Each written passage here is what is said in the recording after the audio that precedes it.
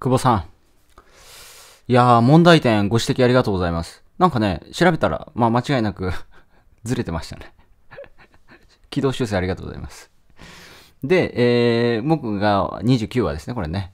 はい。で、えー、今回は自由に生きる方法ですね。さっきね、久保さんブログ書いてたんですけど、多分ナイト2000とか、まあ僕の GTR、まあ久保さんのナイト2000も幼少期、あの、憧れの車だったと思いますし、僕もの GTR に関しても憧れの車でした。で、今回 BM 買ったのも、やっぱその外車っていうところで、やっぱベンツ、ベンツとか BM とかその外車が、まあ、街中走ったりとかしてるのを見て、あな、どうやったらあんな車に乗れんだろうみたいなね、外車高いみたいなね。なんか憧れですよね。やっぱその、で、実際乗ってみて、ああ、あの、あいいな、みたいな。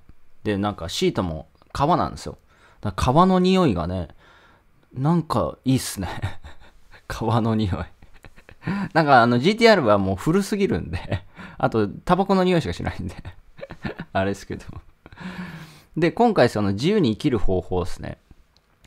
あまあブログにも書いたんですけど、自由に生きるって、あの、ぶっちゃけみんな自由に生きられるんですよ。何かを手放したら。何かを手放したらね。久保さんは、例えば麻雀店を手放したから今自由にななってます。うん。とか、まあ、あの、ブログで書いたのが、これちょっと分かりづらいんで、ちょっと、あの、ブログで書いたことをちょっと言いますけど、例えば、時間がないっていう人結構多いんですけど、じゃあそれなんで時間がないかっていうと、正社員で働いてるからなんですよ。フレキシブで、アルバイト、アルバイトってフレキシブルで入れるところ、入れられるところ、まあまああると思うんですけど、じゃあフレキシブルで、1週間にじゃあ3回とかにして、そしたら後で全部時間自由じゃないですか。んで、深夜やるのか夜やるのか自分でも選べるし、でも正社員の場合だと、この時間来てくださいねみたいな縛りあるんで、時間的自由束縛されるじゃないですか。だけど、それの代償としては給料少ない、安定がないとかね。だけど、時間は自由に手に入るよと。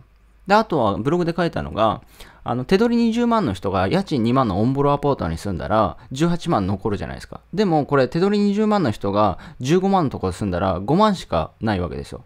だから、18万の自由、使える金の自由を手にするのか、5万なのかっていう話で。だから、何かを手放すと、あの、何かを手に入れられるんですよ。っていうのがあるわけですよ。で、じゃあ、これ手放したくない。な、あのその、例えばナイト2000とかね、一軒家買いたいとかね。これって別に、なんだろうな、あの贅沢だと思うんですね。贅沢。別に久保さん、あのね、あれじゃないですか、久保さんホームレスやってたんでわかると思うんですけど、ホームレスでも別に生きていけますよね。大丈夫ですよね。だから、生きていくということに関しては、別にお金がなくてもなんとかなるんですよ、生きていくっていうのは。生活保護もあるし。だ結局何かが欲しいとか、何か住みたいとか、何か手に入れたいって贅沢なんですよ。欲望。まあ、久保さんが欲望に素直になれみたいなね、この億万長者合宿でも言ってくれてましたけど、結局何かを手に入れたいって欲望でしかないんですよ。だからその自由に生きるとは、実はあんまり関係ないんですよね。だからホームレスの人でも自由に生きてるんですよ。だから前、その1%の成功、なんかリアクションみたいな本の中に、こういう話があって、あの、エリートサラリーマンがね、ホームレスの人の前を通ったんですよね。なんかスーツパシって決めて。で、ホームレスの人が、お、なんかあんちゃんすごいね、みたいな。あんちゃんの夢は何だみたいな。ホームレスの人がね、そのエリートサラリーマン風の人に聞くわけですよ。僕はお金持ちになって、まあ、なんかフェラーリとか乗って、まあそういうの頑張ってんだ、みたいな。へえ、すごいね、と。ああんちゃんはそのフェラーリとか高級車とかなんかそういうね、なんだ、そう、そういうの手に入れて最終的にどうしたいんだと、あんちゃんは。って聞いたら、そのあんちゃんは、いや、俺は自由になりたいんだと。で言ったら、そのホームレスの人がね、俺自由やけどな、みたいなね。このトンチね。これね、僕ね、ズバッとね、おもろいなと思って、もう一生忘れないんですけど、このフレーズ。このやりとりが。この本に書いてあったやりとりがね。超面白くて。だから自由って別にみんな入れられ、何かを手放せば自由になるんですよ。わかります？その、だ、た、た、例えばね、世間的な、うん、しがらみですよね。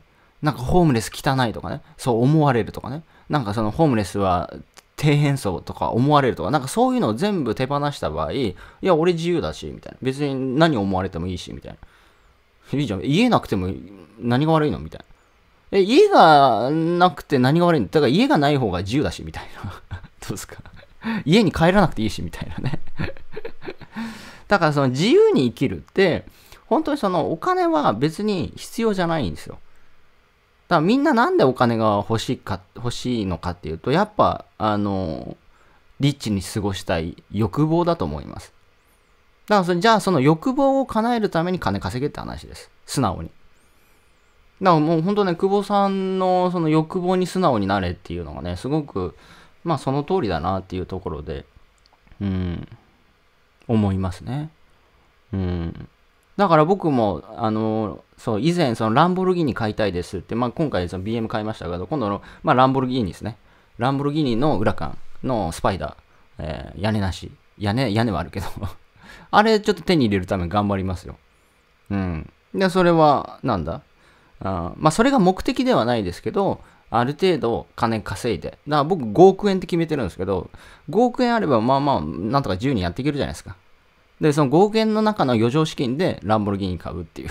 だランボルギーニはね、あの BM の何十倍維持費かかりますから、まあ BA、BM もなんか維持費高いみたいですけど、まあ GTR の方が高いかもしれないんで。だでも、ランボルギーニはね、高いんですよ、維持費。もうすべて高いですね。ランボルギーニとフェラーリ系は。なんで、まあそれを想定して、じゃあその余剰資金、5億ぐらいあったらその余剰資金でランボルギーニ買ってもまあ痛くないなっていうところで、そこを目指してますね、今は。お金に関しては。あとは将来のことですよね。まあ年取ってきますから。だから5億、障害賃金が2億、3億って言われてますから、じゃあ5億稼げば、稼げば余剰資金2億あるじゃないですか。じゃあその余剰資金2億で、えー、なんか好きなもの買ってみたりとか、いろんなとこ行ってみたりとかすればいいんだろうなっていうところで、僕は最近5億っていうね、どれぐらい稼ぐのか、その着地点ですよね。42.195キロの金を稼ぐという行為の着地点は5億かなっていうのは今、結構最近イメージしてますね。5億。5億あればいいかなっていう。まあ2億円余剰資金あったら久保さん大丈夫じゃないですか。多分、もう十分かなと思うんですよね。そう。まあそんな感じですね。はい。いってらっしゃい。